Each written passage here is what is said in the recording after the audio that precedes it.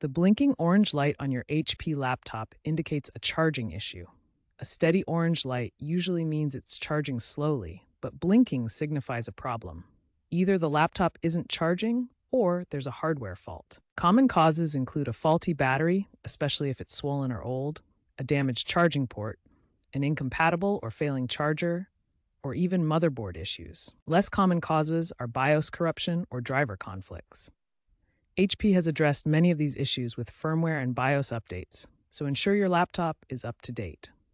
Start with basic diagnostics. Unplug the charger, remove the battery if possible, and test with a different outlet and cable. Use the HP Battery Check tool in your BIOS, accessed by pressing F10 during startup, to assess battery health. Simple fixes include replacing the battery, cost $50 to $100, cleaning the charging port with compressed air, or updating drivers via HP Support Assistant. For advanced issues, consider resetting the BIOS or seeking professional repair. Many problems can be resolved with software fixes, but hardware issues may require professional attention to avoid voiding warranties. According to experts, battery health is the top factor causing this issue, accounting for 45% of cases.